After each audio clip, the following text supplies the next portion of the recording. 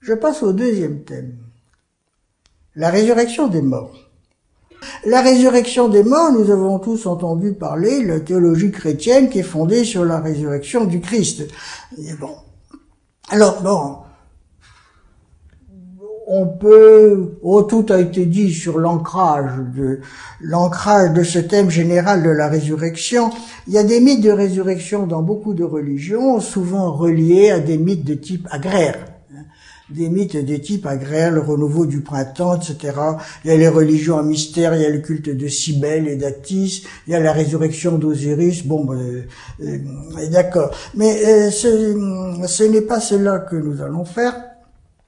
Parce qu'alors là, euh, je vais faire un peu du, du Da Vinci Code, vous savez, je vais faire une espèce de salade. Là, bon, là non, c'est pas sérieux. Ce que nous allons faire, c'est, nous allons essayer de faire quelques rappels historiques, touchant à la théologie chrétienne. Je de faire les choses un peu sérieuses. Là, la résurrection du Christ, le thème de la résurrection ce n'est pas quelque chose de nouveau. Il y a des prémices dans les Écritures juives. La, première, c'est le livre de Job. Alors, le livre de Job a été écrit en hébreu. Il a ensuite été traduit en grec, c'est ce qu'on appelle la traduction de la Septante, la Bible grecque, qui commence peut-être dans les années 235 et qui va s'échelonner. Bon, les premières années, il n'y a que le, le Pentateuque, il n'y a que la Torah qui est traduite, puis ensuite, au premier siècle, ça va continuer. Bon. Et donc, dans le texte hébreu que vous avez dans une Bible aujourd'hui, en hébreu, ou traduite en français, parce que je ne sais pas l'hébreu. Bon. Je sais qu'il est éternel, celui qui va me délivrer sur la terre. Que ressuscite ma peau qui supporte tout cela. Bon. Ça, c'est le même texte, hein, en hébreu et en grec. Mais alors après.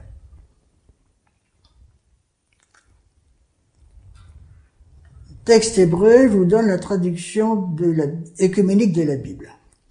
Je sais bien, moi, que mon Rédempteur est vivant, que le dernier, il surgira sur la poussière. Et après qu'on aura détruit cette peau qui est mienne, c'est bien dans ma chair que je contemplerai Dieu. Version Bible de Jérusalem. Je sais, moi, que mon défenseur est vivant, que lui, le dernier, se lèvera sur terre. Après mon éveil, il me dressera près de lui, et de ma chair, je verrai Dieu. Non. Qu'est-ce qu'il y a dans le texte grec? Si un homme meurt, il vivra, après avoir accompli les jours de son existence. Et j'attendrai jusqu'à ce que j'existe de nouveau. C'est ainsi que Job mourut vieux et rassasié de jours, et il est écrit qu'il ressuscitera de nouveau avec ceux que le Seigneur ressuscite. C'est dans le livre de Job, c'est dans le texte grec, qui n'a pas le correspondant dans le texte hébreu que nous avons aujourd'hui. Or, euh, une phrase comme celle-ci, euh, euh, une phrase comme celle-ci pourrait être écrite par Paul à propos de tel ou tel de ses amis. Hein. Il est écrit qu'il ressuscitera de nouveau avec ceux que le Seigneur ressuscite. On croirait Paul parlant d'un de ses amis.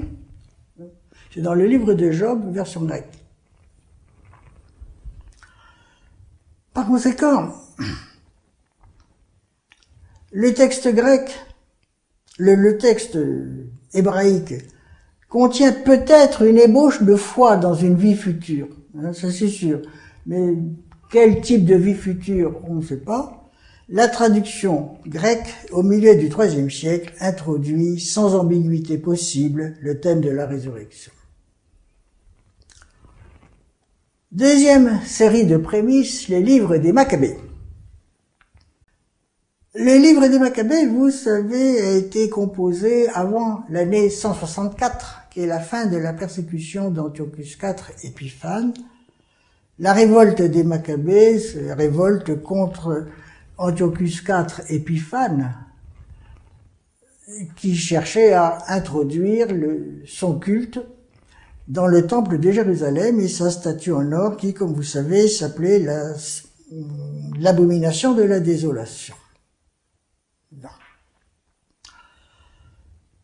Nous sommes à la fin du second siècle, dans le second livre des Maccabées, chapitre 7, paragraphe 9, chapitre 7, paragraphe 14, chapitre 12, paragraphe 43.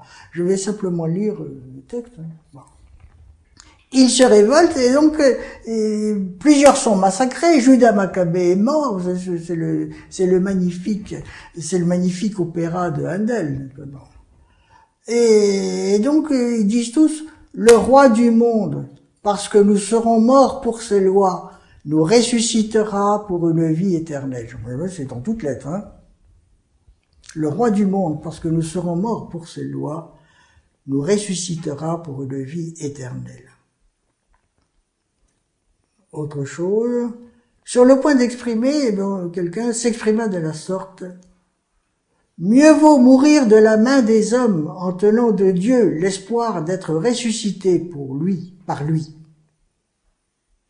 Mieux vaut mourir de la main des hommes en tenant de Dieu l'espoir d'être ressuscité par lui. Troisième texte. Ayant fait une collecte d'environ 2000 drachmes, il l'envoyait à Jérusalem afin qu'on offrît un sacrifice pour le péché, agissant fort bien et noblement d'après le concept même de la résurrection. J'arrive au livre de Daniel. Le livre de Daniel, c'est pareil, 164. Et donc, euh, Daniel a un certain nombre de visions. Et la grande vision s'achève par l'annonce de la délivrance finale, celle de la résurrection en vue du jugement. En ce temps-là, ton peuple en réchappera. Quiconque se trouvera inscrit dans le livre. Beaucoup de ceux qui dorment dans le sol poussiéreux se réveilleront, ceci pour la vie éternelle, cela pour l'opprobre, pour l'horreur éternelle. Je m'excuse, je répète la phrase parce que Paul va citer textuellement la même chose. Beaucoup de ceux qui dorment dans le sol poussiéreux se réveilleront, ceci pour la vie éternelle, cela pour l'opprobre, pour l'opprobre, pour l'horreur éternelle. Nous arrivons à, je descends l'ordre chronologique, j'arrive au livre d'Enoch. Enoch, c'est H-E-N-O-C-H. Alors, ce texte est un texte absolument central, peut-être pas suffisamment connu, me semble-t-il, pour la bonne raison qu'il n'est ni dans les Bibles juives, ni dans les Bibles chrétiennes. Le livre d'Enoch a eu une influence considérable sur les transformations de la pensée juive au cours des deux premiers siècles avant notre ère, et sur l'élaboration de la pensée chrétienne. Je voudrais rappeler brièvement que, je dis simplement en passant, que ce texte a été exclu du canon des écritures juives par le ce qu'on appelle l'assemblée de Yavne en 90, à la fin du premier siècle de notre ère, le texte a été exclu des écritures juives. Mais le texte a été exclu des écritures chrétiennes seulement au début du troisième siècle de notre ère. C'est-à-dire qu'il y a beaucoup d'idées du livre d'Enoch qui sont passés dans la théologie chrétienne que vous n'avez pas dans la Bible. Vous savez le combat des, le, combat des, anges Lucifer contre le, contre l'archange Saint Michel, etc. Bon, euh, ça se trouvait dans les vieux catéchismes. Euh, Augustin va le développer cela très longuement parce que c'est cela qui va expliquer la naissance des deux cités dans la théologie d'Augustin. C'est, c'est pas dans la Bible la révolte des anges avec Lucifer. Et c'est quelque chose qui a déterminé la naissance de la théologie chrétienne, la révolte des mauvais anges, etc. D'où ça nous vient? Ça nous vient du livre d'Enoch. Mais alors c'est pas pour ça que je raconte. Je raconte simplement que dans le livre d'Enoch, il y a la venue de l'élu, le Fils de Dieu, à la fin des temps, pour le jugement dernier, pour les récompenses finales et pour les damnations éternelles après la résurrection. Pourquoi les chrétiens, pourquoi les païens se sont-ils opposés aux chrétiens? Pourquoi les chrétiens se sont-ils opposés aux païens? Ce n'est pas une histoire de polythéisme ou de monothéisme, ça c'est de, de racontard, pas qui traîne, etc. Le, les, païens étaient monothéistes depuis belle lurette, que les émergents du, de l'énothéisme remontent au troisième siècle avant notre ère. Par conséquent, bon, c'était pas le problème, et même le, rival principal, les deux rivaux principaux du monothéisme euh, chrétien, c'était le culte de Mitra et le culte de Sérapis, qui sont des religions monothéistes. Par conséquent, polythéistes, énothéistes, ça c'est du bon c'est des images d'épinal. Non, qu'est-ce que les païens n'ont jamais pu accepter? Ce sont trois dogmes qui sont imbriqués, un peu comme le nœud lacanien, si vous voulez, qui sont imbriqués de manière borroméenne, création, incarnation, résurrection. Si on veut comprendre quelque chose de la thématique de la résurrection, il ne faut pas prendre ça tout seul, c'est les trois à la fois. Et c'est cela qui a opposé paganisme et christianisme, et tout particulièrement l'élite du paganisme, l'élite religieuse du paganisme. Pourquoi? Parce que parler de création implique la dignité du corps. Et donc ça vous dit le contraire de ça. Le corps, c'est pas un truc titanique. Deuxièmement, qu'est-ce qui prouve en plus la dignité du corps et de la matière? C'est que le Christ s'est fait corps, il s'est fait matière. Si c'était si mauvais que ça, je ferais pas matière. Pour un, pour un, pour un païen, c'est impensable. Dieu, le fils de, le fils de Dieu incarné, c'est absolument impensable. Le corps, c'est une prison, c'est une souillure. Dieu peut pas rentrer dedans, c'est impensable. L'homme est âme, immortelle. Et là, c'est une prison. Alors que c'est Dieu qui rentre dans le corps. Puis, de manière, si c'est pas Dieu qui a créé le corps, le corps est trop mauvais. Donc c'est impensable, créateur. Et à plus forte raison, donc, résurrection, c'est quelque chose d'inadmissible. Donc, euh, qu'est-ce qu'il y a? Qu'est-ce qu'il y a derrière ce nœud de la théologie chrétienne naissante? Il y a quelque chose qui pourrait s'opposer à tout ce que nous avons dit du mythe orphique. Il y a l'affirmation de l'éminente dignité du corps. À cela, il est facile d'opposer la mort de Socrate et la mort de Jésus. On l'a fait souvent déjà. Bon, je répète, bon, ça va pas très loin, mais enfin bon, c'est pas totalement. Et chez Socrate, il y a une sorte de sérénité apparente, j'ai bien dit apparente. Il meurt, il boit la ciguë, tout le monde pleure, il dit arrêtez de pleurer comme des femmes. Bon. Euh, Jésus, c'est l'angoisse. Père, euh, éloigne ce calice. Chez Socrate, Derrière cette sérénité apparente, qu'est-ce qu'il y a? Il y a une conception tragique cachée. Quand, euh, au moins quelques secondes avant de boire la ciguë, les disciples lui disent, mais alors tu es sûr que l'âme est immortelle? Et l'autre lui répond, que l'osgar aucune du nos. C'est un gros pari à faire.